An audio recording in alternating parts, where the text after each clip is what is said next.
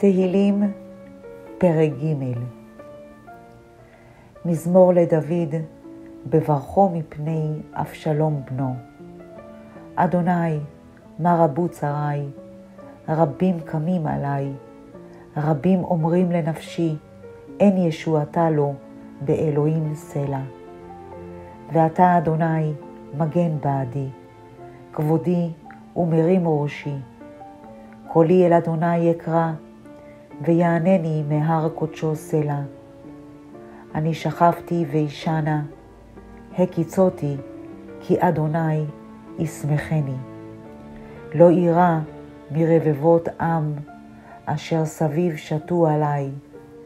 קומה, אדוני, הושיעני אלוהי, כי הכית את כל אויבי לחי.